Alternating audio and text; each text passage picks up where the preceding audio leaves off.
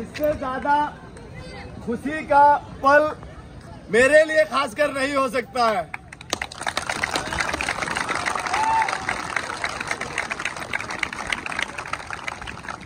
आप लोग से और ज़्यादा कुछ चाहिए नहीं कि हमको कार लाओ, पैसा लाओ, या ये लाओ, वो लाओ। लास्ट दो साल के आसपास से विशाल भी ट्रेनिंग कर रहे हैं। लगातार जुड़े हुए हैं सीपीओ एस एस अभी जाके बिहार दरोगा में सिलेक्शन हुआ। लगातार एक डेढ़ दो दो साल से इतना कंसिस्टेंसी के साथ में पढ़ाई फ़िज़िकल लगातार।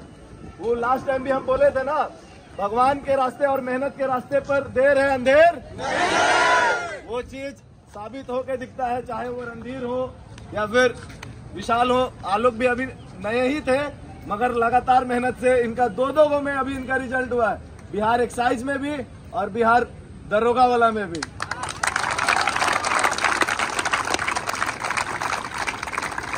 आप लोग मैक्सिमम बच्चे तो मिलते रहते हैं इन लोग से पंद्रह बीस दिन पहले तो यही ट्रेनिंग कर रहे थे लोग। वही चीज़ है दोस्तों, लगातार मेहनत, आप लोगों के बीच से भी कोई एक अकेला आके आगे खड़ा हो जाएगा। ठीक है? वो चीज़ आपको अपने आप में लाना होगा। ठीक है? ठीक है? बताइए आलोक कुछ। मेरा नाम आलोक कुमार हुआ। बिहार एसआई के पोस्ट पे मेरा सिलेक्शन हुआ है।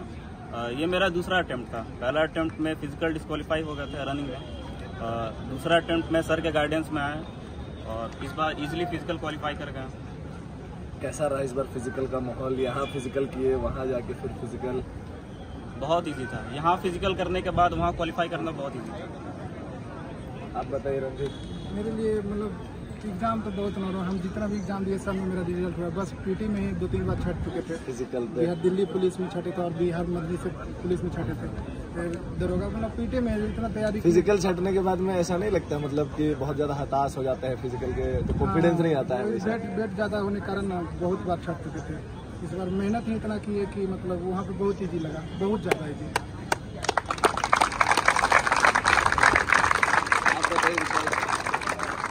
क्या कहेंगे? अगर कोई बच्चा लगातार तैयारी करता है उसके बाद में छोड़ देता है उसके विषय में कि लगातार एक ट्रैक में कैसे भागा जा सकता है? सबसे पहले तो फ़िज़िकल के लिए तो सबसे बड़ी बात है कि आपको डिसिप्लिन मेंटेन करना होगा क्योंकि आप एक आलोक से भी सीख सकते हैं कि हमेशा ध्रुवा से सुबह शाम तीस किलोमीटर पंद्रह किलोमीटर से आना जाना सुबह शाम ये मेंटेन रखा हर दिन रखा। पिछले बार डिस्qualify किया था लेकिन इस बार ये एक भी दिन अपसेंट नहीं रहा। है। सब हाँ। तरह का दर्द झेलते हुए किया। तबीयत खराब होने के बावजूद भी ये फ़िज़िकल में अपना हर दिन रखा इस कारण से उसका हुआ। और हम तो पिछले सर बता ही दिए मेरे बारे में दो साल से हम इनके गाइडेंस में हम ये मेरा तीसरा फ़िज़िकल था और तीनों में हम आज तक तो एक- एक सब ये मेरा फ़िज़िकल का फेल नहीं हुआ है। फ़िज़िकल में हम चाहे सीपीओ हो या जी हो किसी का भी फ़िज़िकल है टाइम से हम बहुत पहले सब क्वालिफाई किए हैं। दो नंबर के चक्कर में रुक हाँ, मैं जाते थे में थोड़ी मेरिट से दिक्कत है लेकिन अभी वो सब कोई दिक्कत नहीं रहा तो फाइनली सब ठीक हुआ। यही चीज़ है कि दोस्तों कंसिस्टेंसी हम जेनवनली खुद देखे हैं आलोक मतलब उतना ज़्यादा एक तरह से होता है ना कि बच्चा फिट रहता है उस टाइप का भी फिटनेस नहीं था। मगर प्रॉपर एकदम stage one stage two stage three से आके पूरा प्रॉपर फ़िज़िकल क्लियर करना बहुत बड़ा चीज़ है। कैसा लगता है आलोक? कैसा कल रिज़ल्ट देखने के बाद कैसा रहा माहौल? खुशी का? आपका याद है आपकी वजह से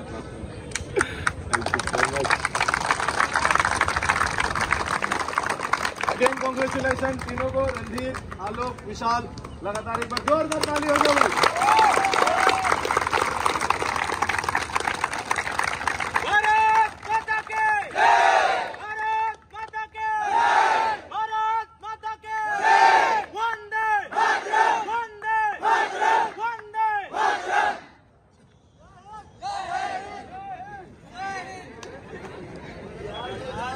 और अच्छा से जितने भी स्टेट नेशन सबको सर्व करे अच्छा सविशन दे के निकले। एक बार जोरदार ताली हो जाए भाई